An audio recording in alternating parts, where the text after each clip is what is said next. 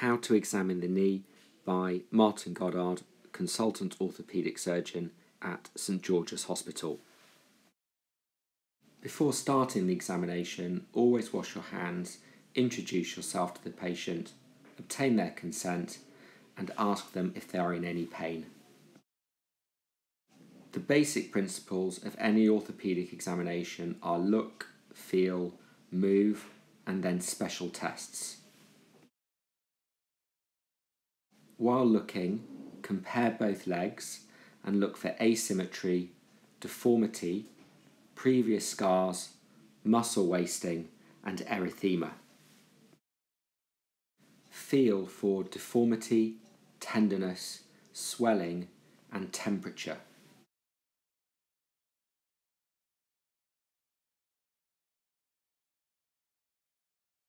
Compare the active and passive range of movements with the contralateral normal leg and also assess whether movement is painful.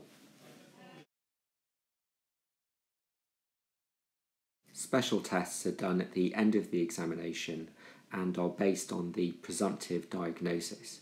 For knee examination, these include the knee ligament tests.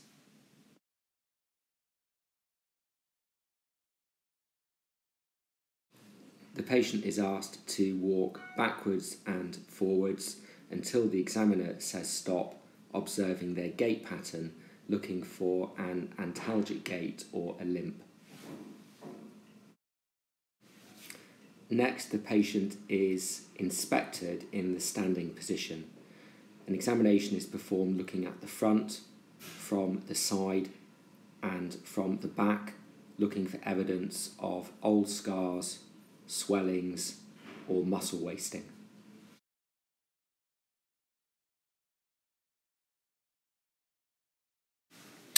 With the patient on the bed, the skin temperature is felt comparing the two knees to look for signs of infection or inflammatory arthropathy. Next, an effusion is looked for by milking the fluid from one side of the knee to the other and observing the knee swelling as the fluid is moved around. The patient is asked to move the knee through a full range of movement to assess active movement. The examiner then performs passive range of movement, noting the full extension and full flexion achieved. Next, the joint lines are palpated looking for evidence of meniscal pathology.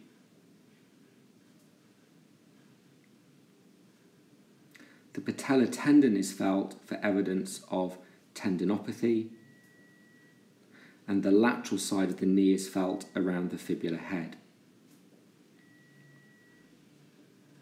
The quadriceps tendon is palpated above the knee for evidence of quadriceps tendonitis. Ligament testing begins with both knees flexed to 90 degrees and posterior sag is looked for using a pen placed on the tibial tuberosity for signs of a posterior cruciate ligament injury.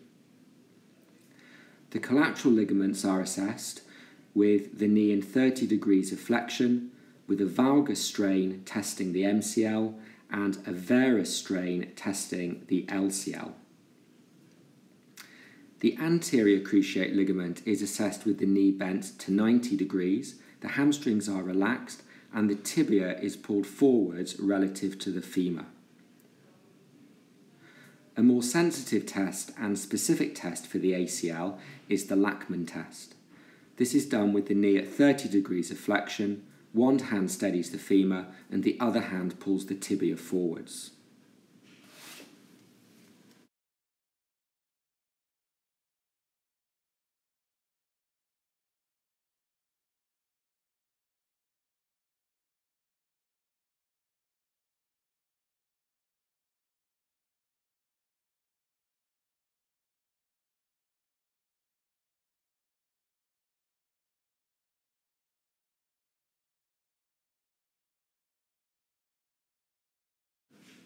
With the patient supine, the skin temperature is assessed comparing both knees.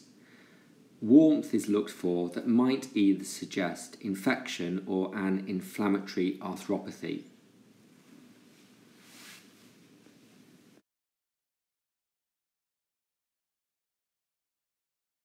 With the patient supine on the bed, an assessment for an effusion is done. The first test is to move the fluid using the back of your hand around the knee, observing for the knee swelling on the contralateral side as the fluid is moved.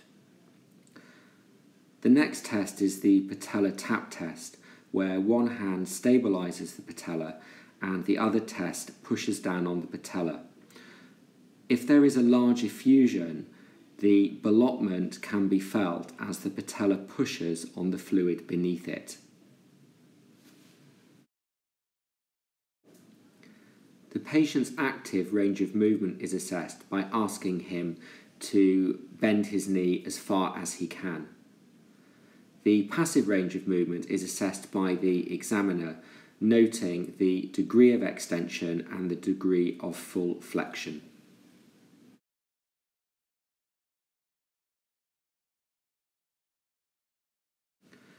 With the knee at 90 degrees of flexion, palpation is performed. Whilst looking at the patient for signs of pain, the lateral joint line is assessed and the medial joint line assessed for tenderness that may indicate meniscal pathology. The patellar tendon is palpated for evidence of patellar tendonitis or fat pad impingement syndrome. The fibular head is palpated for pain on the lateral side of the knee. With the leg in full extension, the quadriceps tendon is palpated for signs of quadriceps tendonitis.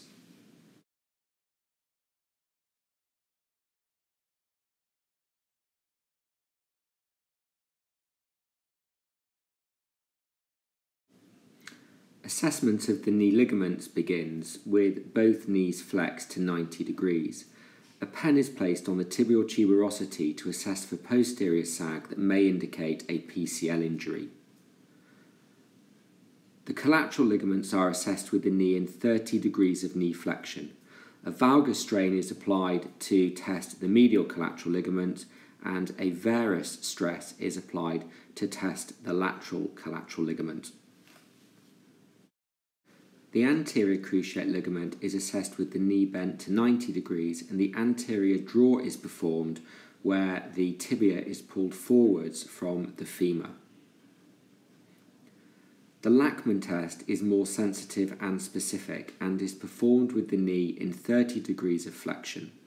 One hand holds the femur steady and the other hand pulls the tibia forwards. At the end of the examination, thank the patient and examine the hip and ankle joint. Always check the neurovascular status and look at any relevant imaging.